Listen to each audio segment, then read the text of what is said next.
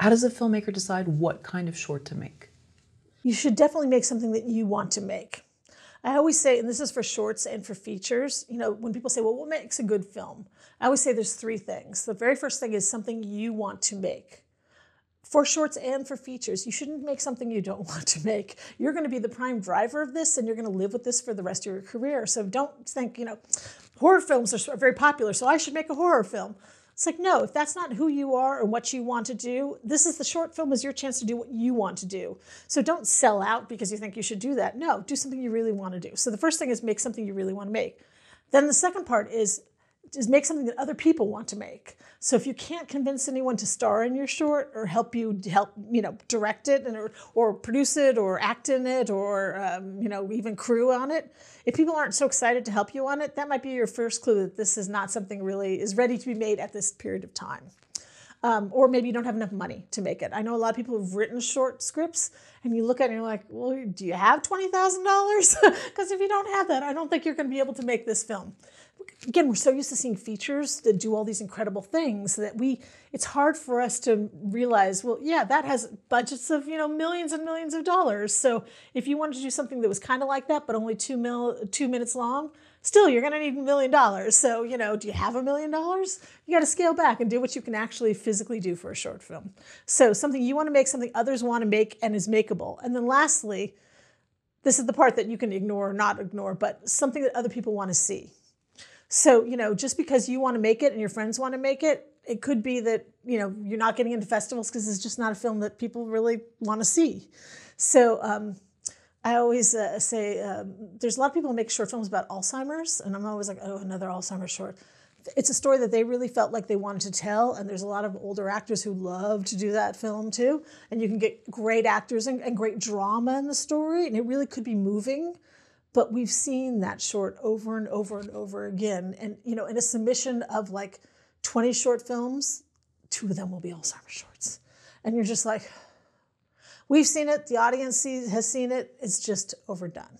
So, you know, there are certain things that are just overdone. It used to be for a while zombie shorts. Like everybody was making zombie shorts, I think because the makeup was easy to do or accessible. And again, there's inherent drama in zombies, right? And maybe that's something people really want to do. They're like, I want to direct The Walking Dead, so I'm going to make a zombie short.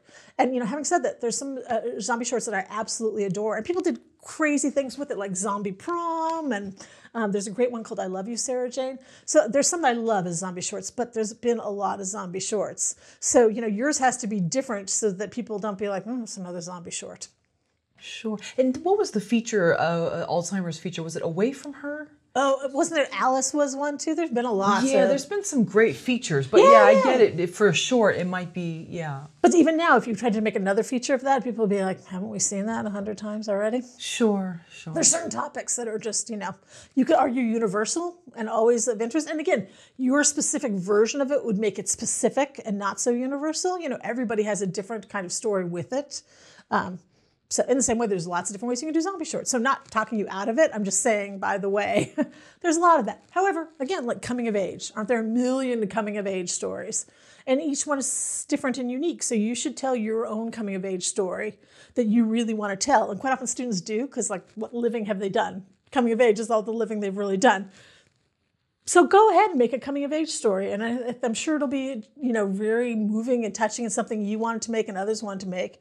There just might be a point where people don't necessarily want to see it because like we've seen a lot of coming of age shorts.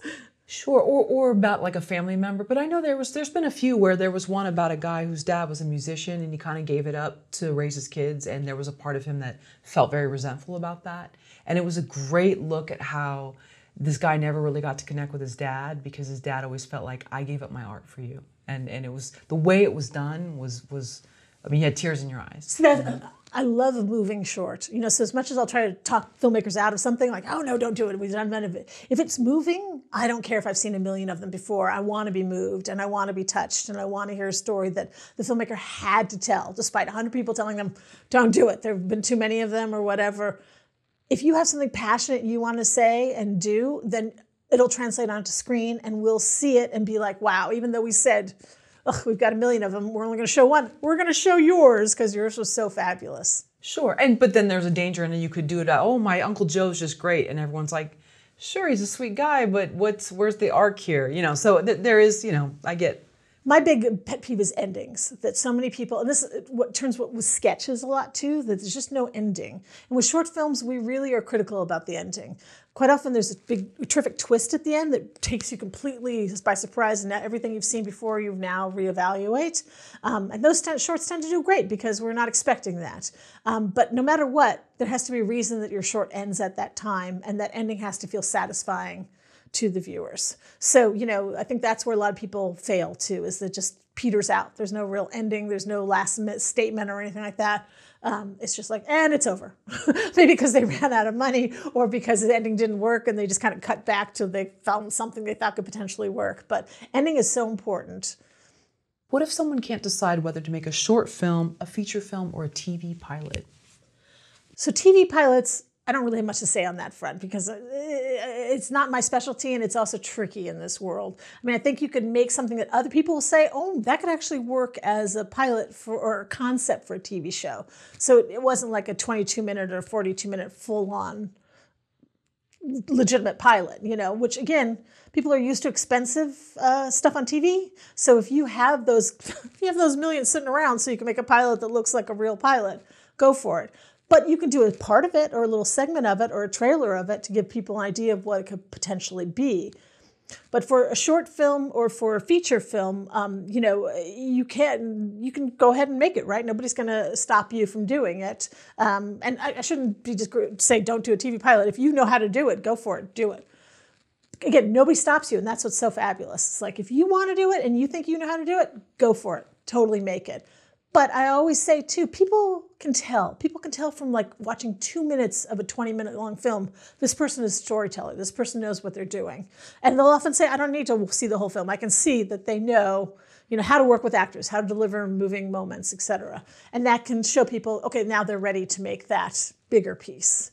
So don't feel like you have to do the full length thing to have people appreciate what your talent is or see that there's talent to make you take the next step of you know you don't have to make a low budget feature to get hired to make a feature. There are many people who've gotten hired to make a feature based on a short film or just based on their script by themselves you know by itself that they can be a director for it. Um, you know i do believe in low budget filmmaking and there's a great up no, again no one will stop you and there, you can make amazing things with a low budget film. But i always think it kind of comes back to money too.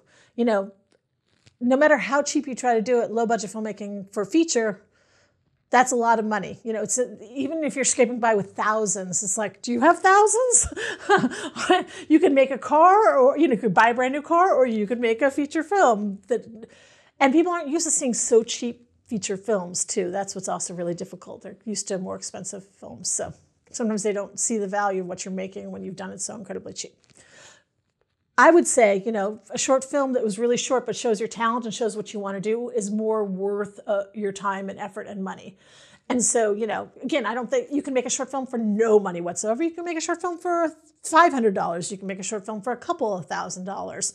Quite often, I teach, and some of my students underestimate how much money they have to put into it, especially about post. now, when you're a film student, you can often get things to help you with, with post, but the difference between something that you just shot on your iPhone with no post and something that you do proper post on, world of difference. So, you know, people underestimate the money that you need for post production, and then they offer uh, uh, underestimate the amount of money you need if you're going to send your film off on the festival circuit. That's also not free. so all of a sudden, it's like, let's say you had five thousand dollars, which I would love to have five thousand dollars to spend on my art. Um, you know, I'd rather you make a short film for $3,000, including all your post, and save $2,000 to send it off on the festival circuits where you can actually go and attend these festivals and, you know, uh, because they're not going to pay you. to, if the festival's not in your back door, they're not going to pay to fly you out or put you up, but you may want to do that. And then, you know, you need money to do that. So I would highly recommend when you're budgeting, put money for post and put money for festivals if that's something you want to do. What if someone says, I'll do my own post? A lot of people do think they can do their own posts because you know that's the miracle of the, the computer now that so many elements are there. And you can in the same way you can write your own script or shoot your own script. But i always say like it's a world of difference if you have somebody shoot it be a dp for you. So why wouldn't you also have somebody edit for you and be there uh, give their skills for that? And why wouldn't you have somebody do their post-production sound because it's amazing how much post production sound can add to the production value of your film. Sound is everything. People will forgive things that don't look that great, but if the sound is good, it brings it up incredibly and makes it so much more professional. Um, and a lot of people want to help you. You know, a lot of post production places, if you approach them and you're only asking for help on a five minute long short and you have time, you're like, whenever, if you can do it in your spare time, sometimes you can get professionals to help you on these things for not that much money, or you pay like a regular client. And if you have that money, you can get top notch. I know a lot of short filmmakers who have Skywalker Sound do their sound. It's doable, you know? So if you have the money, frankly, at filmmaking, if you have the money, a lot of things are possible. That's true. You. But don't skip on post and don't skip on marketing.